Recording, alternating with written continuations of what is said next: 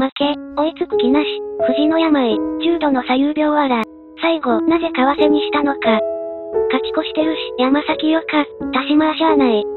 途中から来た、にやけどそんなに勇みひどかったんひどくはあった。今日は山崎キレキレやったな。最後盛り上がったけど重度の左右病、なんとかしろやヒゲ。ここの代打為替はいろいろ言われそう。ギタムラン見れたのは良かったわ。ワンアウト三塁が2回あったのに無得点で終わってるのが悪いわ。最低限できない打者が悪い。なんで代だって、イサミの信用ないからやろ。イサミは相当ひどかったけど、ここで出てくるのが買わせて、そう薄すぎて草。イサミのワンちゃん、見たかったわ。男柳田最後に、ホームランのプレゼント。最後に関しては一発ある、イサムちゃんの方が、とは思ってしまうなツーアウトだったし。